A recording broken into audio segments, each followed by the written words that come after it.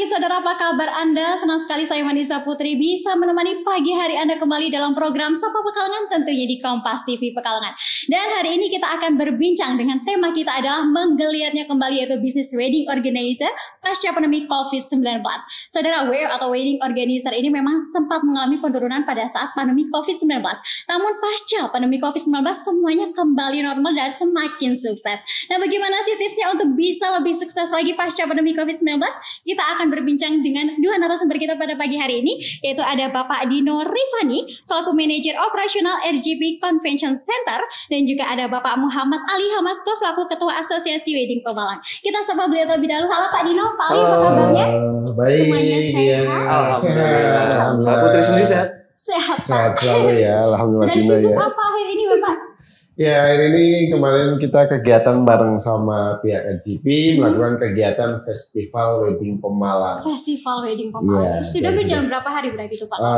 S- eh, acara kita itu tiga hari, Tiga hari. selama tiga hari dimulai dari tanggal 23 Mhm. Februari, 24 sampai 25 Februari. Jadi di weekend Jumat, Sabtu dan Minggu.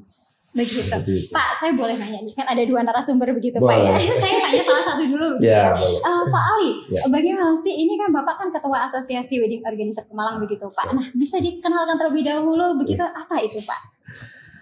Halo, Sapa Pekalongan. Ya, eh, saya Ali Hamasko eh, memperkenalkan memperkenalkan diri eh, untuk Asosiasi Vendor Wedding Pemalang. Kebetulan eh, saya pribadi diamanati sebagai ketua umum dan kebetulan di eh, Asosiasi Vendor Wedding Pemalang ini adalah satu wadah para pelaku industri wedding Hmm. Pemalang yang memang di antaranya ada dari eh, mua, Hmm. rias, tata rias, harpi, termasuk ada dekorasi, fotografer, dan tentunya juga ada uh, videografer juga, catering, Hmm. layar tenda dan lain sebagainya. Yang artinya mereka itu berkecimpung di para pelaku industri wedding Ya, Pemalang. Itu betul seperti sekali itu. Pak. Ini tentunya mempermudah para klien begitu Pak ya. Tentunya ya. Jadi intinya uh, kita saling terintegrasi dalam satu wadah itu dan ketika uh, mungkin ada job-job yang lain itu kita saling terhubung, saling Hmm. membutuhkan gitu. Hmm.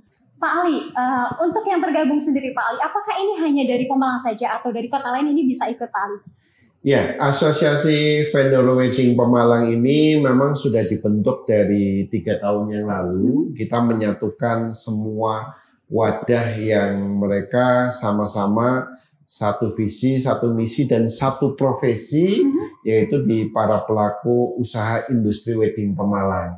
Nah, salah satu yang tadi kami sampaikan adalah ada Harpi, Mhm. Mua Community, ada juga decoration, termasuk fotografer, videografer, catering, layar tenda dan lain sebagainya.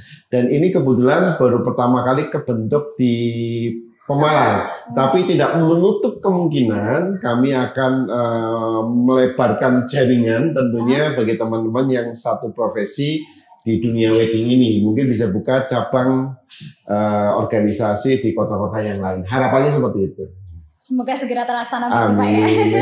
Tapi kan mungkin eh, kota tetangga terlebih Iya. dahulu begitu Pak. Heeh. Nah sekarang apa- beberapa waktu yang lalu kita tahu Pak ya bahwa pandemi COVID-19 ini membuat beberapa sektor usaha itu menurun begitu Pak. Nah kalau di wedding sendiri bagaimana Pak? Apakah juga sama Pak? Nah, itu sangat luar biasa sekali di tahun-tahun terakhir kemarin di COVID-19 dari 2019 sampai 2022 ya. Hmm. Kita sama-sama merasakan pandemi COVID-19. Hmm. Tentunya kami memang sebagai para pelaku industri wedding ini em, diberikan eh, keterbatasan gitu kan Aha. dalam aktivitas Hmm. karena saat itu memang tidak boleh berkerumun orang terlalu banyak Hmm. Padahal di wedding ini kan tentunya mengundang Betul banyak sekali. tamu yang hadir di eh, pernikahan tersebut gitu kan. Tentunya memang sangat berimbas sekali Hmm. Untuk teman-teman yang eh, berusaha di dunia wedding ini. Itu Apa seperti yang itu. dilakukan Pak pada saat ada pembatasan seperti itu? Ya, saat itu tentunya kami mencoba tahun 2020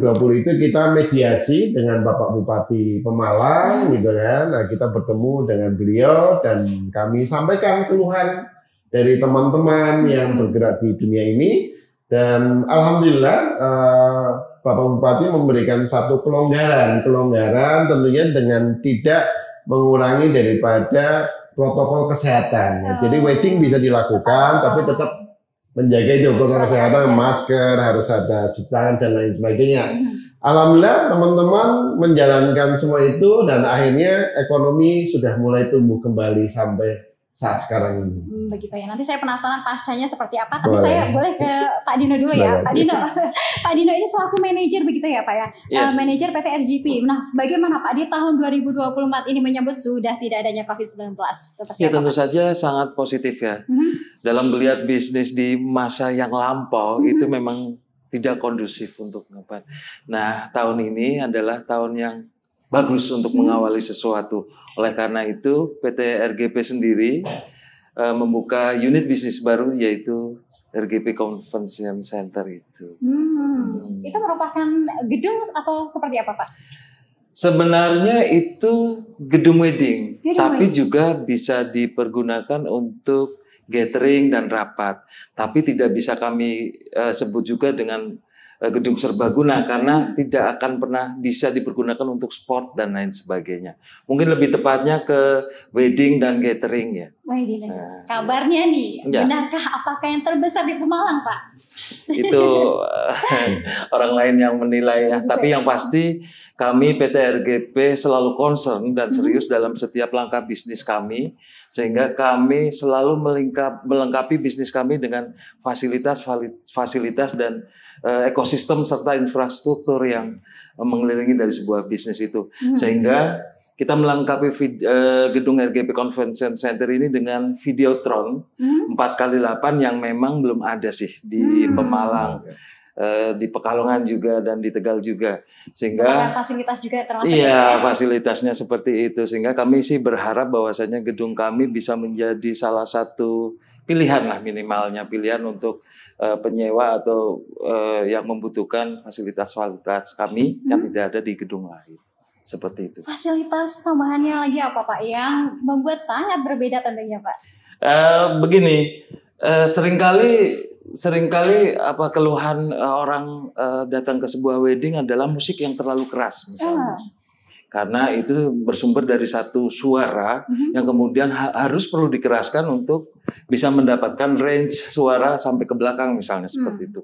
Nah, di gedung kami itu dilengkapi dengan sound yang Dolby Stereo eh, dengan sistem yang Hmm. terkomputerisasi eh, sehingga bisa menghasilkan suara yang lebih merata, Hmm. tidak perlu keras. Sehingga juga Iya, ya. sehingga orang yang di dalam tidak perlu berteriak keras-keras ketika mengobrol seperti itu. Hmm. Satu, yang kedua Videotron itu sendiri. Ya. Videotron 4 kali 8 itu harapan kami bisa memberikan apa ya warna baru dalam dunia bisnis Mhm. eh, wedding itu di- bisnis gedung sehingga bisa menambah opsi untuk memperindah dari acara wedding itu sendiri Oke. tidak hanya dekor. Oke Pak Dino, mohon maaf ditahan dulu nanti kita lanjutkan kembali perbincangan ini. Ya saudara, jangan ke mana-mana nanti kita akan lanjutkan kembali perbincangan kita tetaplah di Kompas TV, independen terpercaya.